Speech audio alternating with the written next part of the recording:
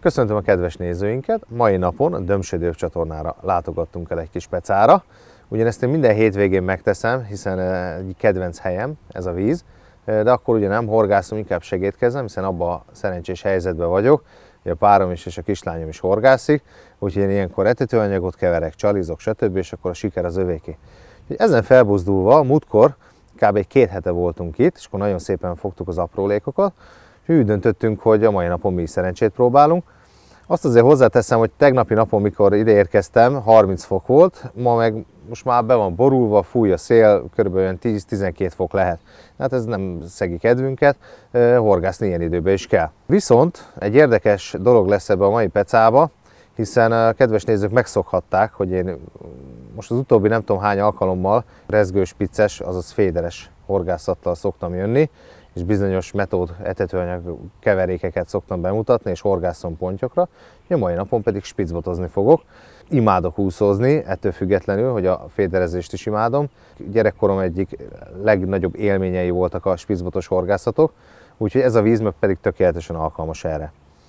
Nos, a mai napra 3 kg etetőanyagot hoztam el, kis TTX-el. TTX kicsit csalóka lehet, hiszen egy pontyos keverékbe szoktuk berakni, de én számítok azért pontyra is. Néha-néha beüt, készüljünk fel erre is, másrészt pedig nem nincs ráírva, hogy csak pontyhorgászatra alkalmas, nagyon kedvelik a kárászok és keszegek is, úgyhogy még ez felázik, TTX-et gyorsan be is keverem, fél kilónyit, a kis tálkába kiöntöm. Mondjuk ez most már kapható turvább, darabosabb verzióba is, ez már egy őröltebb kiadás, gyorsabb oldódását segíti elő. És ugye a fél kilóhoz, pontosan kimérve, egy liter vizet fogok adni. Fél, mindig a dupláját kell. Másik fél. Kézzel egy kicsit elegyengetem, félre rakom egy 15-20 percre, és ezzel fogom benedvesíteni majd a etetőkeveréket.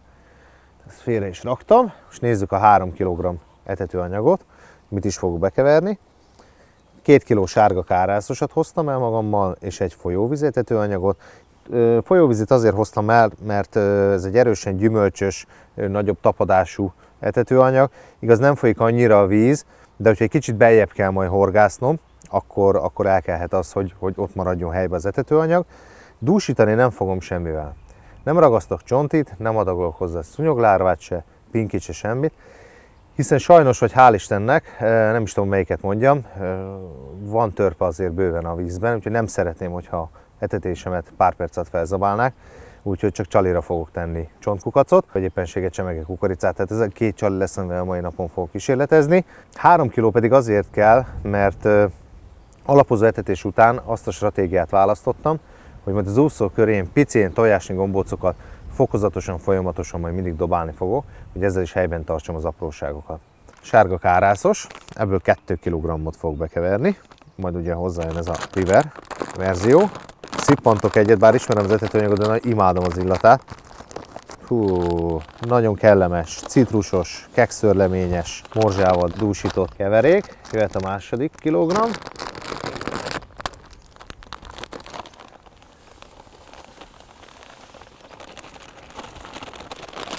Úgy. És akkor jöhet a folyóvízi. Ebbe is beleszippantok. Ú, nagyon finom, kellemes, erdélygyümölcsös beütésű keverék. Oké, okay. meg is vagyunk a 3 kg-mal. Ránézünk a TTX-ünkre. Látható az 1 liter vizet tökéletesen felvette. Ezzel fogom majd készre keverni az etetőanyagot, ha kell hozzá még víz, már pedig kelleni fog valamennyi, azt pedig majd innen adagolom hozzá. Nem kézzel fogom keverni, hanem hoztam egy ügyes kis szerkezetet, ezzel pár perc alatt tökéletesen homogénná egységesé lehet keverni az etetőanyagot, tehát nem kell rostálnunk, szitálnunk semmi, készre bekeverjük és indulhat a peca. Kezdhetjük is akkor a keverést.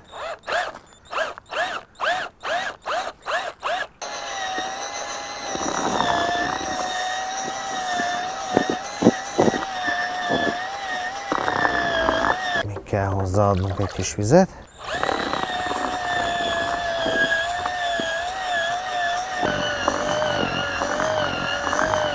Tökéletes lett az etetőanyagunk, egy nyomásra szépen összeáll, könnyen morzsolható, egy picit hagyjuk állni, szívja be minden szemcséje a vizet. Ez kb. egy ilyen 10-15 perces művelet. Ha kíván még vizet, akkor adunk hozzá, ha nem, akkor kezdhetjük a horgászatot. Eltelt a negyed óra, az etetőanyag állaga tökéletes. Fog gyúrni 6 darab egykezes gombócot, az lesz az alapozó etetés.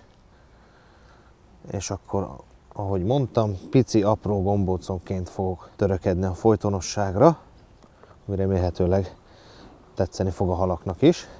Készen is van a hat alapozó gombóc, mehetünk etetni. Jobb oldalra ide a nád mellé fogok etetni, körülbelül egy olyan 3,5-4 méter hosszan, nagyjából egy helyre. Körülbelül az lesz az a táv, amit meg fog horgászni.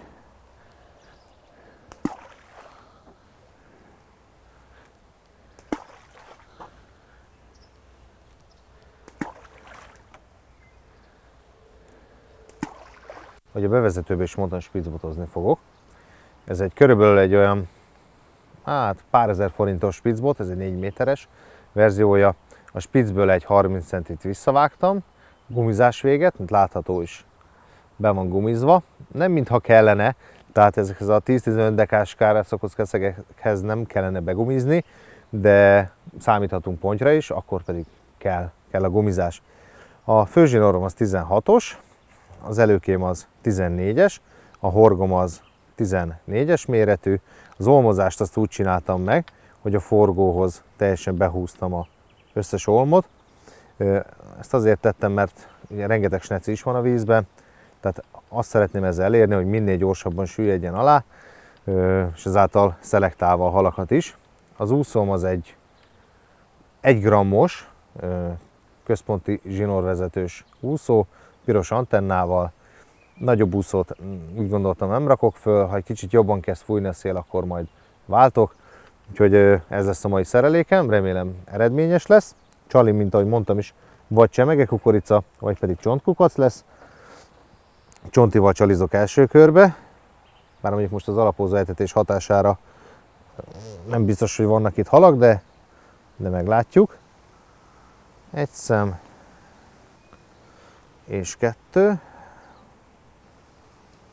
És ahogy az etetésnél is betájoltuk a távolságot és az irányt, oda be is mehet a szerelékünk. Remélhetőleg sikerrel. Remélem egy igazi pörgős, apró halas peca alakul ki ebből a mai napból. Viszont uh, szeszélyes ez a Dömsödő csatorna. Nyáron is nem egyszer fordult elő velünk, hogy tűzött a nap, tök jó idő volt, ültünk kint horgáztunk, egyszer csak jött egy felhő, eltelt 5-6 perc, és leszakadt az ég. Most uh, erre megvan most is az esély, mint hogy körbenézek, azért ott uh, jobb kész felől elég erőteljesen jönnek a felhők, úgyhogy nem biztos, hogy egész napot végig tudjuk horgászni. Ugyan már van ernyő a fejem fölött, de hogyha nagyon esik, akkor, akkor szerintem pakolunk és bejebb húzódunk. De remélhetőleg ez a két-három óra ad majd annyi halat, hogy kedvet tudjak csinálni a kedves nézőknek egy kis spicbotozáshoz.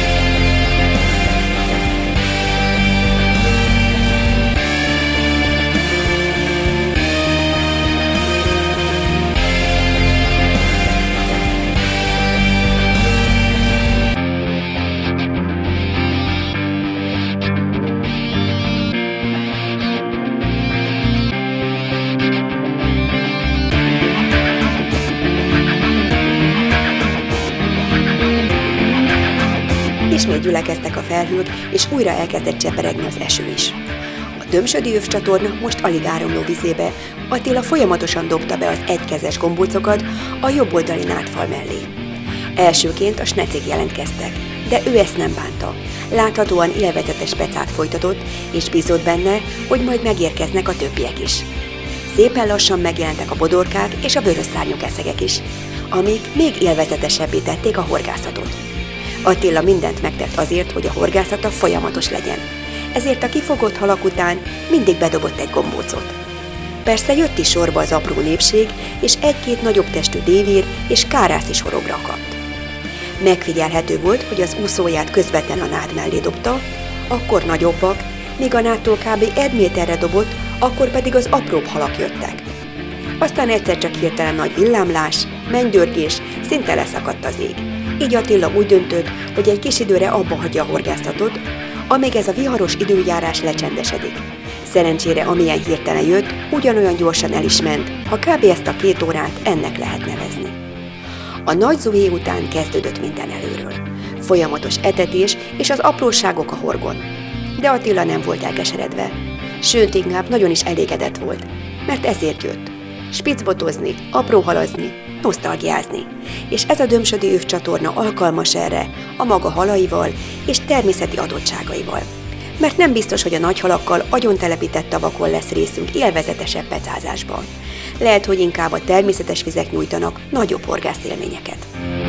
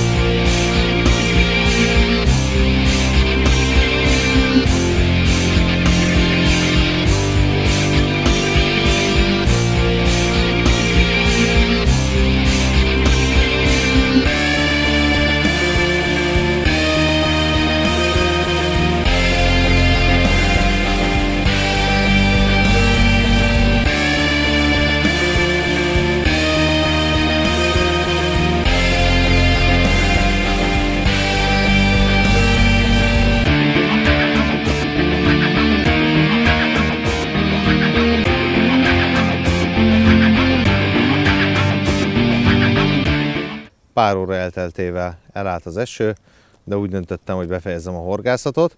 Hát szeszélyes és elég húzós nap volt. Szóval volt egy két óra hossza, amikor le sem tudtam ülni az állásra, olyan erősségű szél és eső zúdult ide a nyakunkba, hogy ha kiszámolom, akkor körülbelül egy ilyen másfél órát tudtam horgászni.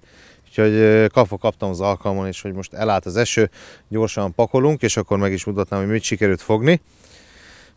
Sikerült ilyen gyönyörű szép kárászokat, egy pár darabot, ilyen gyönyörű szép keszegeket, úgyhogy én úgy gondolom megérte a mai napon itt pecázni, és végre ö, átéreztem azt a feelinget, amit gyerekkoromban, akkor bedobja az ember az úszót, pöccintések, pöccintések és hal van. Ö, darabra rengeteg halat sikerült fogni, közben jön egy érdeklődő is itt mellettem, halszagra. Élmény, dús és pörgős peca volt, Csali minden esetben csontkukac volt, próbáltam kukoricával is, de nem jött rá semmi. Az etetőanyag mind a 3 kg elfogyott, úgyhogy úgy gondolom, hogy Sikeres volt ez a mai napi spicbotos horgászat, úgyhogy bíztatom kedves sportársaimat, hogy próbálják ki ezt a módszert. Nagyon élvezetes, nagyon pörgős peca, szinte minden másodperc élvezhető. Egy másfél kilónyi zsákmány, nem is az a lényeg, hogy egy másfél kilónyi szedett össze az ember, hanem az, hogy végre, végre kim volt a vízporton, és egy élménydús pecán voltam túl. Úgyhogy, úgyhogy kívánok Önöknek ehhez hasonló, vagy még nagyobb fogásokat is, próbálják ki ezt az etetőanyag keveréket, görbüljön a viszontlátásra. A műsorunkat a Hollóházi Porcelán Manufaktúra, az Evolveo Magyarország, az Evolveo Strongfonok forgalmazója és villányból Günzer Tamás pincészete támogatta.